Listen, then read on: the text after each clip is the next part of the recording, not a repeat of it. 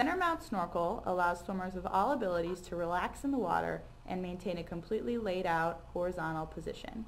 It can be worn with any standard goggle and features an adjustable strap to fit any head.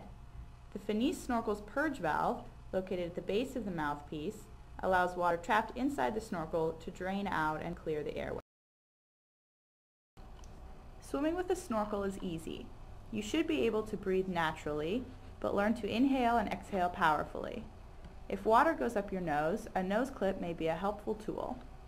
If a lot of water gets in the snorkel, blow out hard until all the water is clear.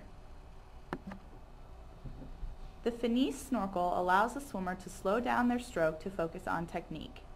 It also eliminates the need for side breathing to concentrate on balancing out rotation.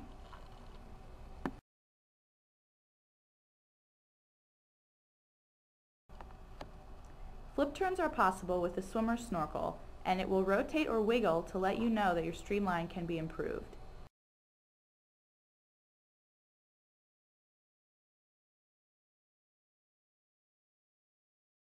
Blow out hard as you near the surface to clear all water from the snorkel.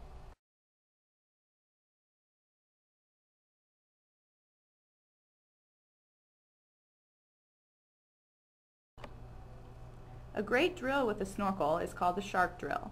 Extend your arms out in front of you and maintain a steady kick. Begin stroke with left arm, recover with a high elbow and delay in the shark position for six kicks. This drill emphasizes positive alignment throughout rotation and a perfect recovery.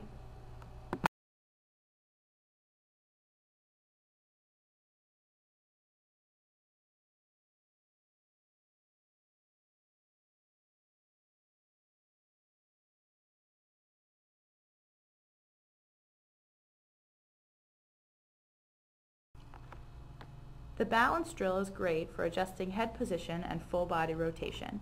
With your arms at your side, maintain a steady kick and neutral head position. Slowly rotate your body all the way on its side, keeping your spine aligned and your head still. A perfect freestyle swimmer is very well balanced and should have similar rotation on both sides. This drill lets you feel your rotation and, by taking away the use of your arms, forces you to balance yourself.